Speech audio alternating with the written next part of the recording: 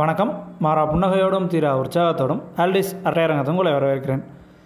இந்த வீடியோவில் நம்ம பார்க்குறது ராமநாதபுரம் மாவட்டம் ஓரியூரில் உள்ள புனித அருளானந்தர் ஆலயம்.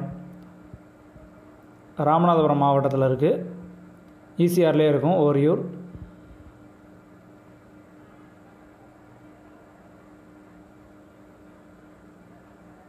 அருளானந்தர் அவர்களை பற்றி பார்த்தோன்னா அவர் ஒரு செயிண்ட் மட்டும் இல்லை அவர் ஒரு மட்டையர் அதாவது மறைசாட்சி மற்றும் புனிதர்.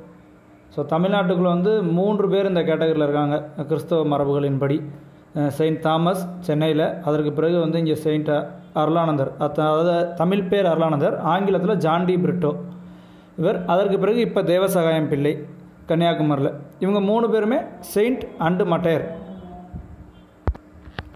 அதாவது புனிதர் மற்றும் மறைசாட்சி. ஸோ இதுக்கு என்ன டிஃப்ரெண்ட் அப்படிங்கிறலாம் ஏற்கனவே நான் ஒரு வீடியோ பண்ணியிருக்கேன். ஸோ அதுக்கான லிங்க் கமெண்ட் செஷனில் போட்டிருக்கேன்.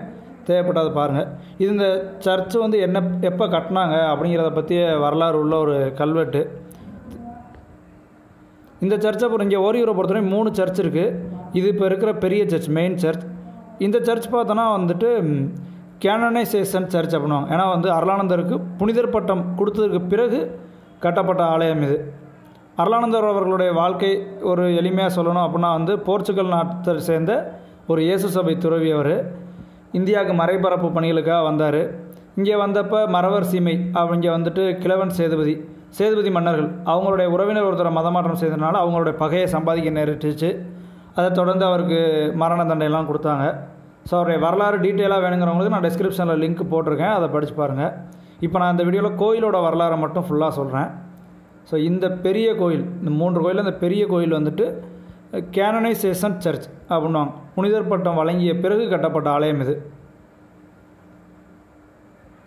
அருளானந்தர் அவருடைய சிறுவம் இருக்குது தமிழ் நேம் தான் அருளானந்தர். ஆங்கில நேம் வந்துட்டு ஜான் டி பிரிட்டோ. போர்ச்சுகல் நாடு லிஸ்பனை சேர்ந்தவர். அவர் வந்துட்டு பின்னாடி மரண தண்டனை கொடுக்கும்போது தலையை வெட்டி கொண்டாங்க ஸோ அதான் அந்த மேலே டயக்ராம் இருக்குது படம் இருக்குது இந்த சர்ச்சில் அந்த மேல் பக்கம் தெரியுது பார்த்தீங்களா? ஒரு மாடம் மாதிரி இந்த டிசைன் வந்துட்டு கேரளாவில் எடப்பள்ளி சர்ச்சோட அந்த எடப்பள்ளியில் ரெண்டு சர்ச் இருக்குது ஓல்டு சர்ச்சோட இன்டீரியரில் இந்த மாதிரி தான் இருக்கும். அந்த மாடம் வந்து ஒரு கோல்டு கலரில் ஸ்கொயர் ஸ்கொயராக இது முன்பக்க அந்த ஆல்டர் இருக்குது அருளானந்தர் அவர்கள் வந்து வெட்டின இடத்துல வந்து அந்த தலையை வெட்டின இடம் வந்து மண் செவப்பாயிருச்சு அப்படின்னு சொல்லப்படுறதுனால இவருக்கு செம்மண் புனிதர் அப்படின்னு இன்னொரு பேரும் இருக்குது அதனால தான் இங்கே செம்மண் புனிதரே அப்படின்னு போட்டிருப்பாங்க. இந்த மேலே கோல்டு கலரில் தெரியுது பார்த்தீங்களா ஒரு இன்டீரியர் டிசைன் இதான் சொன்னேன். கேரளாவில் எடப்பள்ளி சர்ச் ஓல்டு சர்ச்சில் இந்த டிசைன் இருக்கும். இப்போ கூட சமீபத்தில் பொன்னியின் செல்வன் படம் பார்த்தீங்கன்னா அந்த கே இலங்கை மன்னன் மகிந்தன் அவன் உட்காந்துருக்க சிம்மாசனத்துக்கு மேலே இந்த மாதிரி தான் டிசைன் இருக்கும். ஸோ அந்த இன்டீரியர் டிசைன் நோட் பண்ணி பார்த்தீங்கன்னா அது தெரியும்.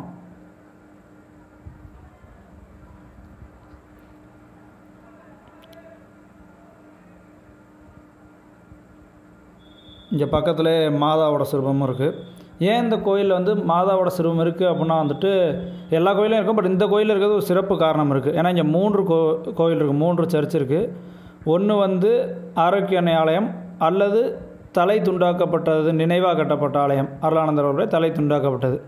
இன்னொன்று பியூட்டிஃபிகேஷன் சர்ச் அல்லது கழுமரம் தாங்கிய சர்ச் பண்ணுவாங்க இது ஒவ்வொன்றும் அவருக்கு புனிதர் பட்டம் வழங்குறதுல ஒவ்வொரு ஸ்டேஜில் கட்டப்பட்டது. ஸோ அதனால தான் இந்த பேர். இங்கே மூன்று திருவிழாக்கள் உண்டு. ஒன்று வந்து அருளானந்தர் அவருடைய ஃபீஸ்ட் அப்போ ஒன்று அவர் புனிதர் பட்டம் வழங்கினப்போ கொடுத்த அப்போ உள்ள ஃபெஸ்டிவல் இன்னொன்று ஆரோக்கிய மாதா அவங்களுடைய ஃபெஸ்டிவல் ஸோ மூன்று ஃபெஸ்டிவல் இருக்குது மூன்று சர்ச் மூன்று ஃபெஸ்டிவல் இங்கே உண்டு. அந்த ஃபெஸ்டிவல் டேட்லாம் நான் டிஸ்கிரிப்ஷன் லிங்க் போட்டிருக்கேன். சர்ச்சோட வெப்சைட் நீங்கள் அதில் பார்த்தீங்கன்னா தெரியும். இப்போ இது மெயின் சர்ச்சோட சைடில் இருக்கும் இடது பக்கம்.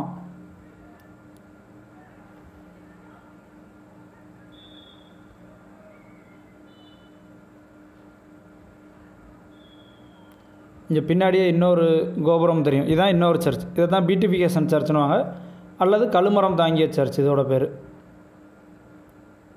இதற்கு என்ன காரணம் அருளானந்தருடைய உடலை வெட்டினதுக்கு அப்புறம் தலை வெட்டப்பட்ட இடத்துல ஒரு சர்ச் கட்டினாங்க. அவருடைய உடலை வந்து ஒரு கழுமரத்தில் ஏற்றி வச்சுருந்தாங்க. அதை வந்து இன்னொரு இடம். இது வந்து மெயின் சர்ச்சோட சைட்லேருந்து நான் காட்டியிருக்கேன். அந்த தெரிகிறது வந்து பியூட்டிஃபிகேஷன் சர்ச் அங்கே தான் கழுமரத்தில் ஏற்றி வச்சுருந்தாங்க. உடம்பை வெட்டி கழுமரத்தை அந்த உடம்பை மட்டும் குத்தி வச்சுருந்தாங்க. அந்த இடத்துல கட்டப்பட்டது.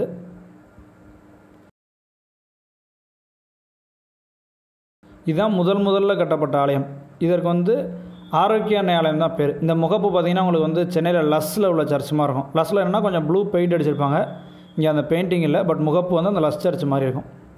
இது ஏன் இப்படி மூணு சர்ச் அப்படின்னு பார்த்தோன்னா முதல் முதல்ல அருளானந்தருக்கு ஆலயம் கட்டணும் அப்படின்னு நினைக்கிறப்ப அவருக்கு வந்து புனிதர் கிடையாது. ஸோ கிறிஸ்தவ மரபுகள் படி ஒருத்தர் புனிதர் ஆகாத பட்சத்தில் அவருக்கு சர்ச் கட்ட முடியாது.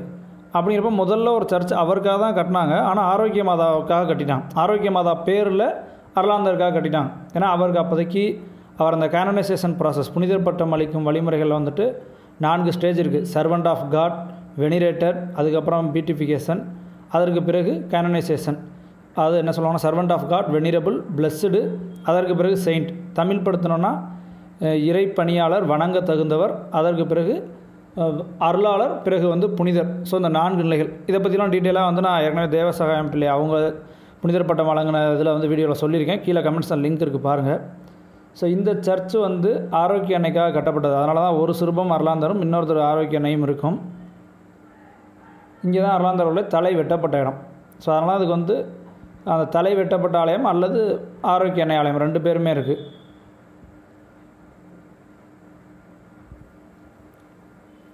இங்கேருந்து கொஞ்சம் தள்ளி இவருடைய உடலை மட்டும் எடுத்து ஒரு கழுமரத்தில் குத்தி வச்சுருந்தாங்க. ஸோ அந்த சர்ச்சோட கல்வெட்டு இது கழுமரம் தாங்கிய கோவில் அல்லது ஆங்கிலது வந்து பியூட்டிஃபிகேஷன் ஏன்னா அவருக்கு அந்த அருளாளர் பட்டம் கட்டினதுக்கு பிறகு இந்த சர்ச்சை கட்டினாங்க.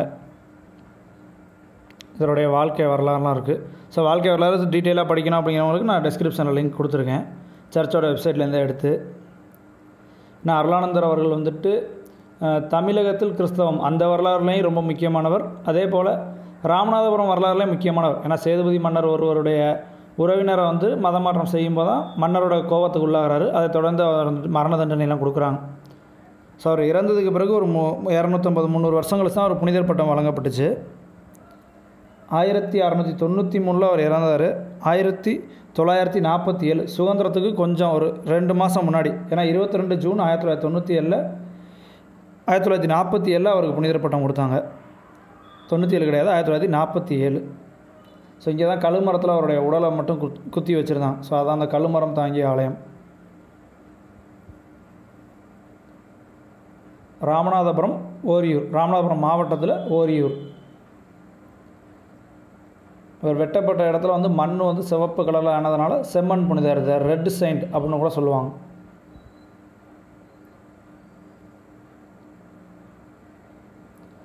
இந்த கேனனைசேஷன் ப்ராசஸ் அதாவது புனிதர் பட்டம் அளிக்கும் வழிமுறைகள் மறைசாட்சி புனிதர் என்ன வேறுபாடு இதெல்லாம் டீட்டெயிலாக தெரிஞ்சுக்கணும்னா தேவசாயம் பிள்ளை அவருடைய வாழ்க்கை வரலாறும் இந்த புனிதர் பட்டம் அளிக்கும் வழிமுறைகளை பற்றி மட்டும் தனியாக ஒரு வீடியோ பண்ணியிருக்கேன். அது கமெண்ட் செக்ஷனில் லிங்க் இருக்குது பாருங்கள் தூரத்தில் தெரிய இங்கே சர்ச் வந்துட்டு மெழுகுவதிக்காகவே இங்கே எல்லாருமே பெரும்பாலும் சிவப்பு கலர் மெழுகுவதி தான் ஏற்றுவாங்க ஏன்னா அது வந்துட்டு செம்மண் புனிதர் அப்படின்னு ஒரு பேர் இருக்கிறதுனால அந்த சிவப்பு கலர் கேண்டில் தான் ஏற்றிருந்தாங்க உள்ளுக்குள்ளே அந்த செம்மண்ணுமே இருக்குது. நிறையா பேர் அதை எடுத்துகிட்டு போகிறாங்க ஒரு எப்படி ஹோலி வாட்டர் எடுத்துகிட்டு போவாங்களோ அது மாதிரி அதை ஹோலி சாண்ட் அந்த மாதிரி எடுத்துகிட்டு போகிறாங்க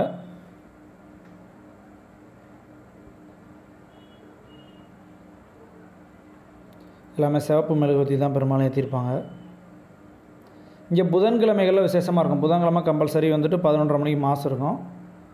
ஏன்னா புதன்கிழமையில் தான் அவர் இறந்தது அப்படின்றனால இதான் அந்த செம்மன் அருணானந்தர் அவர்கள் வந்துட்டு அதாவது ஜான் டி பிரிட்டோ அவர் கொல்லப்பட்ட தினம் வந்து ஒரு புதன்கிழமை அப்படிங்கிறனால புதன்கிழமையில் ஸ்பெஷல் மாஸ் இருக்கும். வருடத்தில் மூன்று திருவிழா ஆரோக்கிய அன்னை திருவிழா ஒன்று அவருடைய அருளானந்தருடைய ஃபீஸ்ட்டுக்கு ஒரு திருவிழா அவருக்கு புனிதர் பட்டம் வழங்கியதற்கு ஒரு திருவிழா மூன்று திருவிழாக்கள் இருக்குது ஸோ இப்போ புதுசாக வந்து இங்கே ஒரு ம மறைப்பணியாளர்கள் பூங்கா அப்படின்னு ஒன்று கட்டிக்கிருக்காங்க இங்கே நிறையா சயின்ஸை வந்துட்டு அவங்களுடைய ஹிஸ்ட்ரி வந்து நிறைய டயக்ராம்ஸ் இருக்குது இது சர்ச்சோட பேக் சைடு இருக்குது ஸோ பார்த்தீங்கன்னா தெரியும்?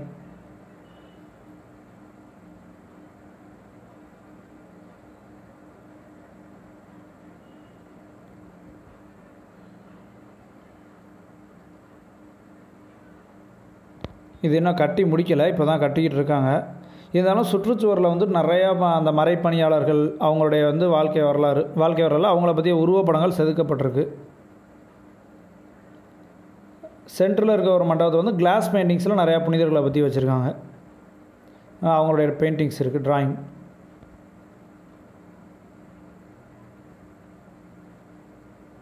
ஸோ வாய்ப்பு கிடச்சா கண்டிப்பாக போய் பாருங்கள் ஏன்னா வேளாங்கண்ணி போயிட்டு அப்படியே ஈஸியாகலே வந்தீங்கன்னா கூட அடுத்து ஓரியூரும் வந்துடலாம் ஒரு நூற்றம்பது இரநூறு கிலோமீட்டர் நூற்றம்பது கிலோமீட்டருக்குள்ள தான் இருக்கும். ராம்நாட்லேருந்து ஒரு அறுபது எழுபது கிலோமீட்டர் இருக்கும். சேனலை பார்த்துக்கிட்ட நேரத்தில் மறக்காமல் சேனலையும் சப்ஸ்கிரைப் பண்ணிடுங்க வீடியோ பார்த்துக்கிற நேரத்தில்.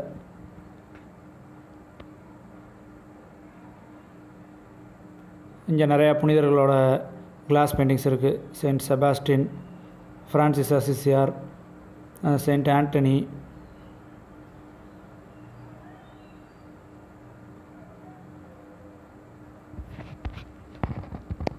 லோயலா இக்னேசியஸ்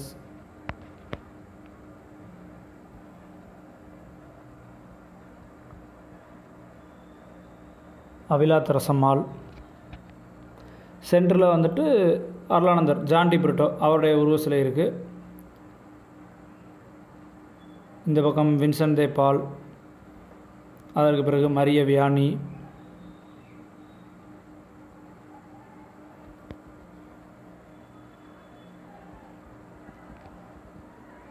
ஜான் போஸ்கோ அப்புறம் அல்ஃபோன்ஸ் அம்மா கேரளா மதர் தெரசா இப்படி எல்லாருடைய உருவப்படங்களும் கிளாஸ் பெயிண்டிங்ஸ் இருக்குது ஸோ வாய்ப்பு கிடச்சா கண்டிப்பாக தமிழ்நாட்டில் இருக்கீங்க அப்படின்னா போய் பாருங்கள்